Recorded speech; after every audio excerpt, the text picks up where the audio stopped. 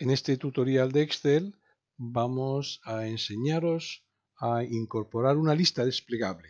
¿Qué es una lista desplegable? Bueno, pues es una lista normal y corriente como esta que tenemos aquí, que son de 85 empresas del mercado continuo, pero lo que vamos a hacer es incorporarla a una sola celda. Eh, ¿Cómo lo hacemos? Vamos a hacerlo de la siguiente manera. De momento vamos a copiar, replicar este encabezamiento, lo vamos a replicar aquí. Entonces vamos a poner en esta celda de aquí la lista desplegable de los nombres de estas 85 empresas del mercado continuo.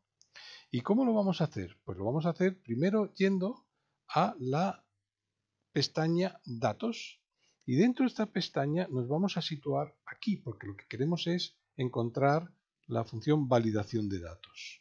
Pues muy bien, vamos a este, a este icono y apretamos en validación de datos. E inmediatamente se nos abre un cuadro de diálogo. En este cuadro de diálogo acudimos a campo que se llama permitir y ahí señalamos lista. Obviamente lo que nos está pidiendo ahora es de dónde vamos a obtener nosotros esa lista, cuál es el origen de esa lista. Por eso en este campo llamado origen hacemos clic y le decimos dónde está esa lista. Y esta lista son la lista de estas 85 empresas del mercado continuo. E inmediatamente le damos a aceptar y ya, si vamos arriba, tenemos, tenemos ya la lista incorporada a una sola celda. Lo único que tenemos que hacer es señalar una de esas empresas. ¿Para qué nos puede servir esta lista, esta lista desplegable? Sencillamente, si yo, por ejemplo, señalo una de las empresas que hay aquí, me gustaría tener inmediatamente el tamaño, el sector y la capitalización. ¿Cómo lo hacemos? Pues lo vamos a hacer de la siguiente manera. Y para eso vamos a acudir a la función buscar valor. Buscar valor, que lo tenemos aquí. Muy bien, pues vamos a buscar valor. Y le vamos a decir que el valor buscado se va a encontrar en esta celda de aquí. E inmediatamente vamos a señalar la matriz donde tiene que encontrar ese valor inmediatamente le vamos a indicar que si lo que estamos buscando de esa empresa es el tamaño, nos damos cuenta, nos damos cuenta que el tamaño está justo en la segunda columna de esta matriz. Por tanto, le vamos a señalar, le vamos a incorporar el número 2. Y una vez que le incorporamos el número 2, pues en, en, teoría tendría que salir.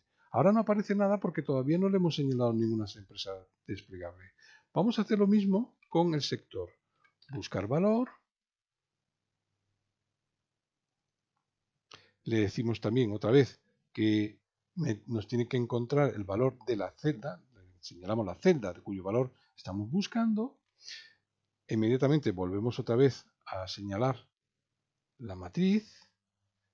Y en este caso vemos, en este caso vemos que la el dato del sector está en la tercera columna. Le damos a 3 y ya tendría que salirnos ahí el dato del sector.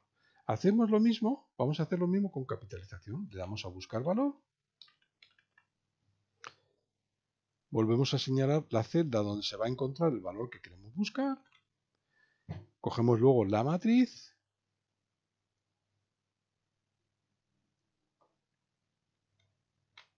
E inmediatamente vemos inmediatamente vemos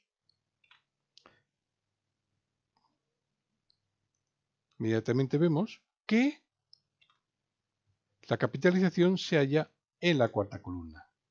Muy bien, pues entonces lo que nos está pidiendo aquí es que le incorporemos el número 4.